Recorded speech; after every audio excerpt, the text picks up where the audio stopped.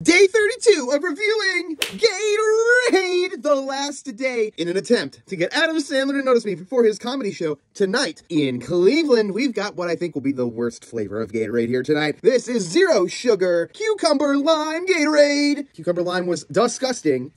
Uh, I smell cucumbers. Why am I saying cheers? There are people legitimately in my comments telling me that this flavor is good. The cucumber flavor is so disgusting. It tastes more like cucumbers than cucumbers taste like cucumbers. And it's zero sugar. It's disgusting. It's wrong, and it should not exist. It is an abomination. Somebody must be drinking it, but I'm never gonna drink it again. You know what to do, everybody. Tag Adam Sandler in the comments of this video on our Instagram and Twitter pages at The Snack Net. So you'll see this before tonight's comedy show, and hopefully he'll sign my Hockey jersey, and uh, stay tuned for our vlog. I don't know how this is gonna go.